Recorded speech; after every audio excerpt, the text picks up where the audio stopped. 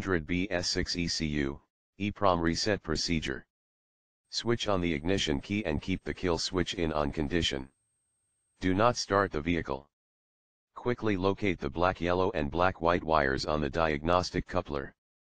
Connect both the pins using a wire or a jumper pin through the coupler. Now open the throttle from 0 to full open position. Hold the throttle at full open position for 2 seconds and close the throttle. Repeat the procedure for 3 cycles. Look for the feedback on the MIL lamp on the cluster.